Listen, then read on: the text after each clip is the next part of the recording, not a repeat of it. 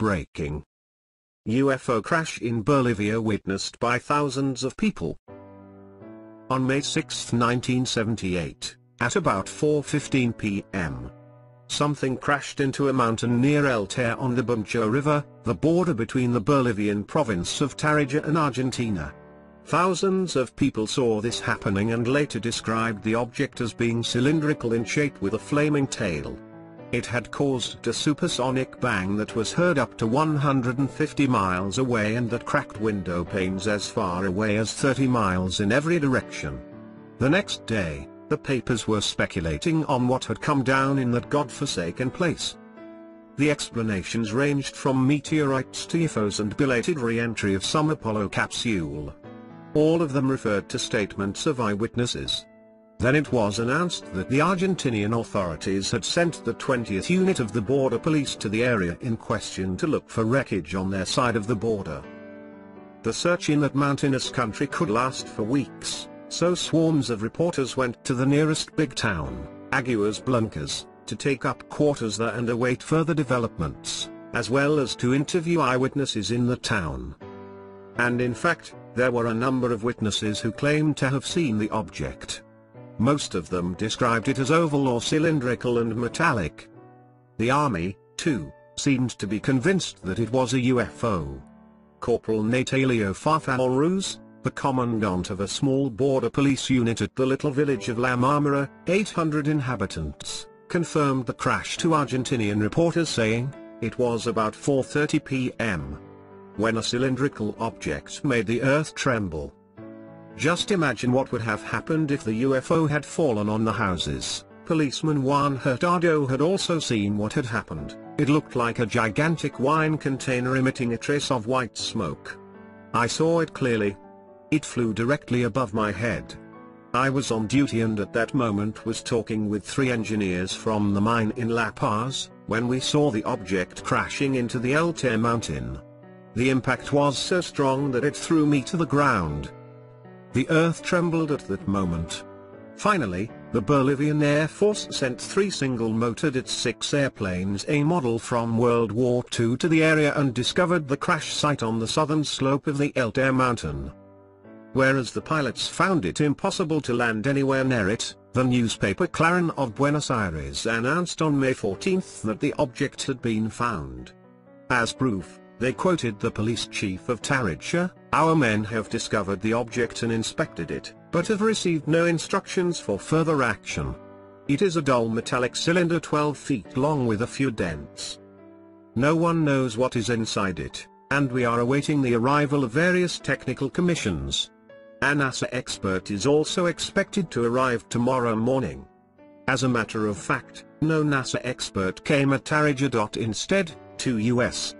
Air Force officers, Colonel Robert Simmons and Major John Hayes arrived. According to a newspaper, although these officers were officially on leave, they had been instructed to take the object to the United States in a Hercules C-130 transport machine, which was waiting for them at La Paz. When other newspapers made inquiries at the American Embassy regarding this secret mission of Simmons and Hayes they were met with a denial. Only two years later, Five relevant documents were released by the U.S. State Department. They revealed that Simmons and Hayes had been assigned to the military attache of the U.S. Embassy in La Paz and did, in fact, fly to Tarija accompanied by an officer of the Bolivian Air Force, in connection with Project Moondust. The first of these documents was a telex sent by the U.S. Ambassador in Bolivia, Paul H. Boeker, to the State Department. In that, he quoted newspaper reports and requested the department to ask the relevant agencies whether they could explain what this object could be, adding, during the last week, more and more UFO reports are coming from this region.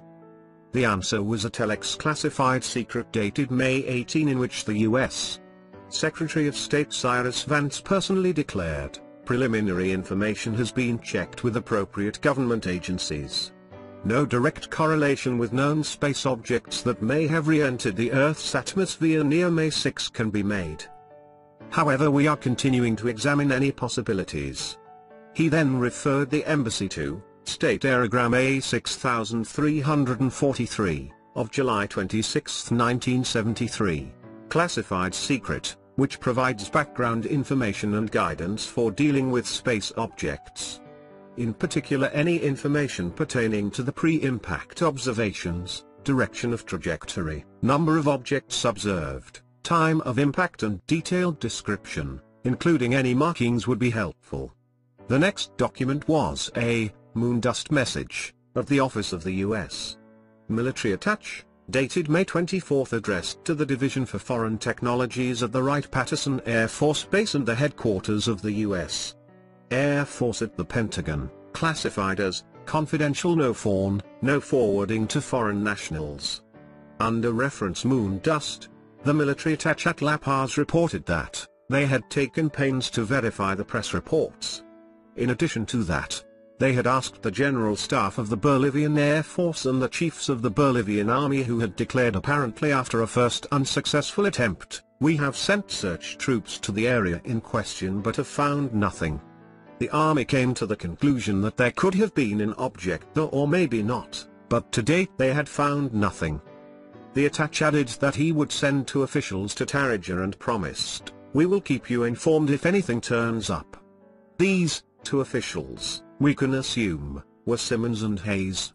Regrettably, no further reports concerning the Simmons-Hayes expedition were released and, to get a picture of what happened, we are forced to rely on reports in the Argentinian press. Apparently, however, nobody came to the conclusion that a meteorite had hit the Earth.